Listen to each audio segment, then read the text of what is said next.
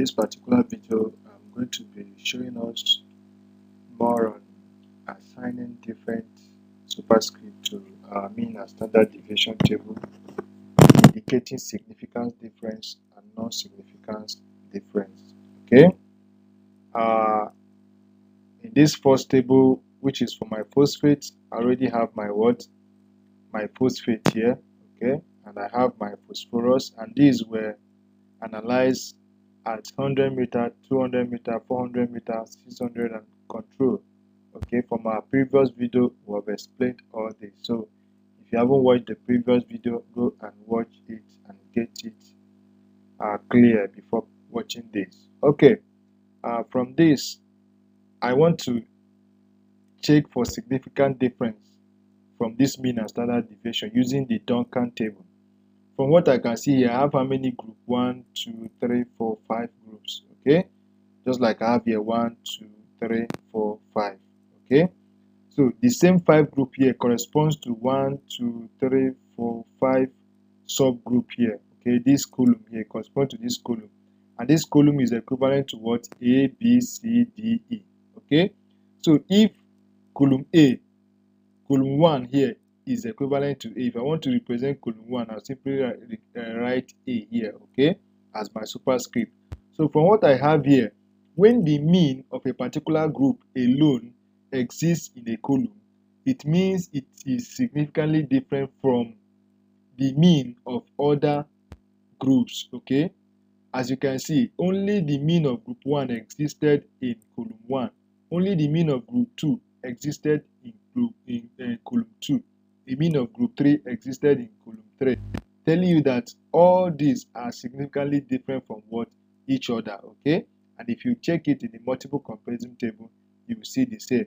So what do i do here? I will simply add my what my superscript a. I'll just go to my home okay? And i'll click on this this x raised to power and it will turn to superscript then for group 2 i'll put b because it's different from group 1 so i'll simply since it's in a different column the same thing applies to c. Okay the same thing applies to c. And then i'll click this. The same thing applies to d. And then i'll click this. Okay they all existed in different what column. Then e.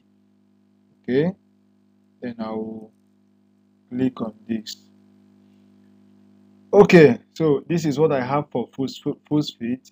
Then let's go down to phosphorus. Let me show us one amazing thing about phosphorus. Okay, this is for phosphorus. Okay, this is the table for phosphorus. Okay, so this that's this second table.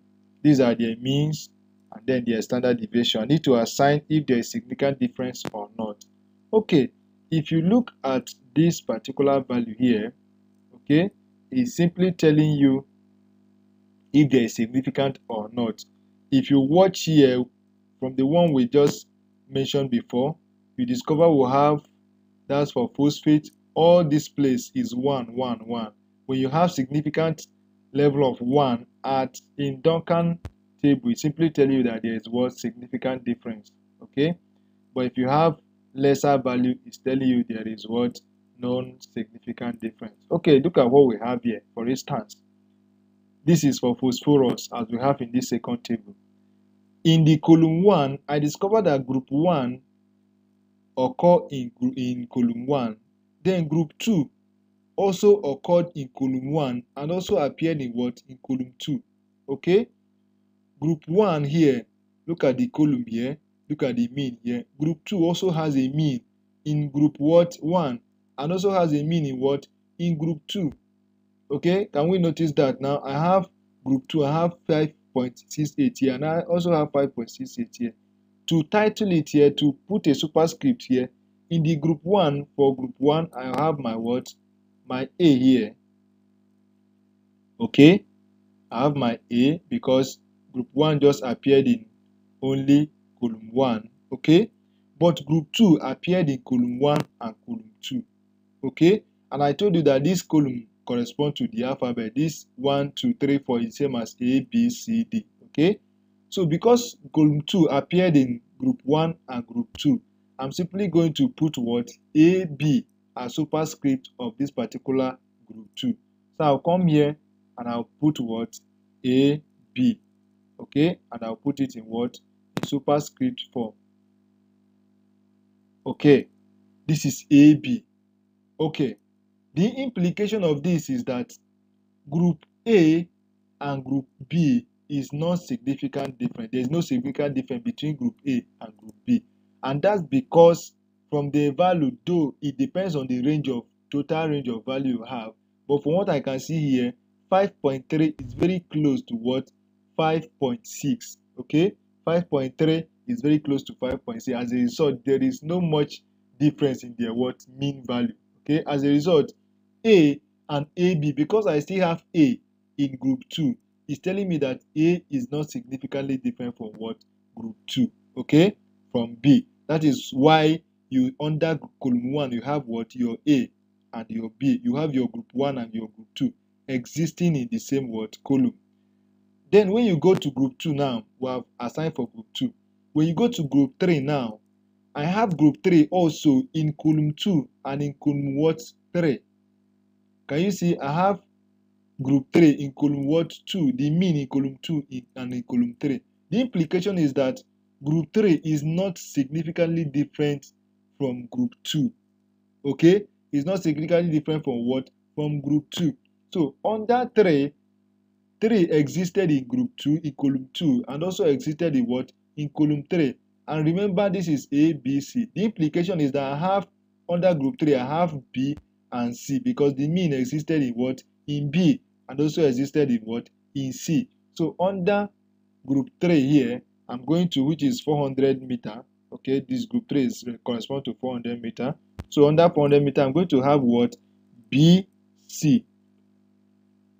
I'll make it what? Superscript. Okay. Why did I put BC? BC simply because group 3 appeared in B and also appeared in C. This is A, B, C. So the B here corresponds to 2. The C here corresponds to 3. Okay. So I have what? BC. And then for group 4, which is what? The 600. Okay. 600, which is the 600 meter here, corresponding here. Under the, the group 4, I discovered that group 4 appeared under column 3 and under column what 4. The implication is that group 4 is not significantly different from group 3. Okay? And that is why they are very close. They are same. They are in, they are not significantly so. D2 appeared on column 3 and also group 4 also appeared on what column 4. So what I'll be having here is what CD. This is A, B, C, D. So I'll have CD here. I'll now have my word CD. Okay. Then I'll put this in superscript. Okay. Then group 5. Look at my group 5, which is the control. Okay. The control only existed in what? In group 4. Okay. The implication is that uh, group 5 and group 4 are not significantly different. They are they are not what significantly different. As you can see, this is 6.2 and this is 6.3. The mean value are very close. Okay. So under group 5, I'm just going to have my what? My D. So here I'll have D. And then I'll put it in what? Superscript.